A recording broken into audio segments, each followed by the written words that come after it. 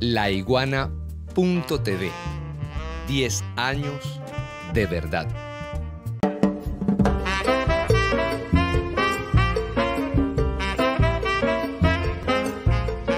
Impacto internacional de la grave situación política y social que vive Perú.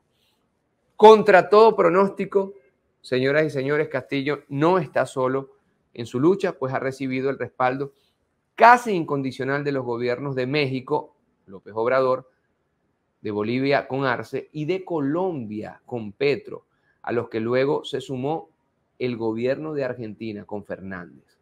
Los presidentes mm, Andrés Manuel López Obrador, Luis Arce y Gustavo Petro no solo se atrevieron a decir en las primeras de cambio que había sufrido una persecución sin precedente, Pedro Castillo, como hicieron otros gobiernos de izquierda, sino que también, oído al tambor, pusieron en cuestión la transparencia de la justicia peruana y solicitaron a la Comisión Interamericana de Derechos Humanos, la CIDH por sus siglas, medidas cautelares a su favor.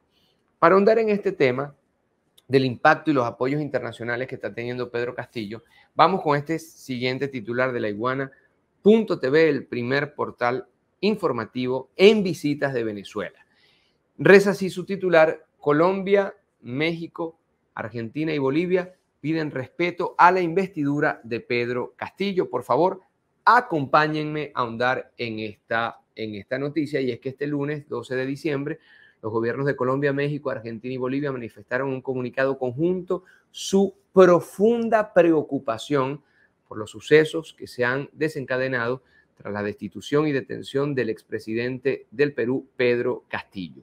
En este orden de ideas consideraron que internacionalmente es público y notorio que Castillo, abro comillas, desde el día de su elección fue víctima de un antidemocrático hostigamiento, cierro la cita, lo cual viola el artículo 23 de la Convención Americana sobre Derechos Humanos, conocido como Pacto de Costa Rica, en vigor desde 1969. Los líderes afirmaron que además de ser sometidos a una persecución permanente, Pedro Castillo luego fue, abro comillas, objeto de un tratamiento judicial que igualmente transgrede dicha norma.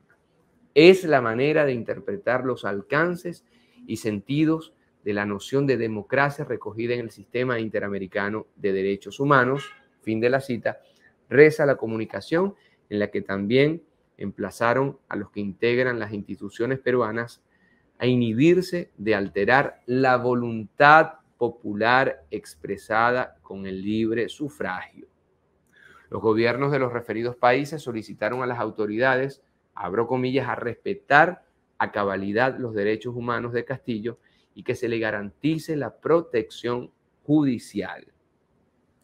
Resulta y acontece, queridos amigos, queridas amigas, que este comunicado cayó como un balde de agua fría en Lima, que de inmediato llamó a consultas al embajador mexicano por supuestas injerencias en los asuntos internos del Perú, pues López Obrador ha fungido como vocero del grupo. Lejos de amilanarse y bajar el tono, el mandatario mexicano ratificó el contenido de la misiva y apuntó que en apego al pacto de Costa Rica, Castillo había ganado una elección y no se le puede destituir porque ello representa, así dijo el gobierno mexicano, un desconocimiento de la voluntad popular. Bravo por López Obrador. Aplausos de pie a López Obrador.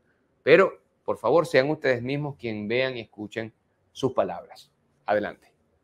Lo que está haciendo nuestra diplomacia es analizar los acontecimientos que se están presentando,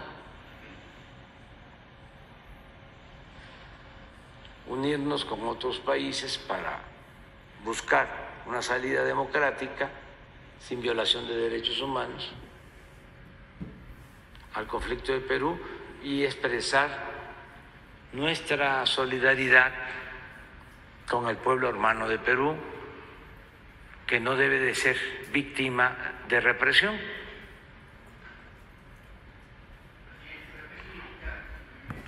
la voluntad ciudadana de los hombres.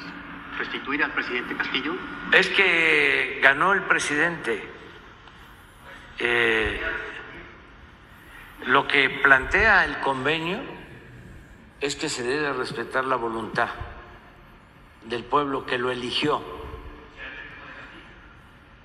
reconocer que ganó democráticamente y que este no se le puede eh, destituir.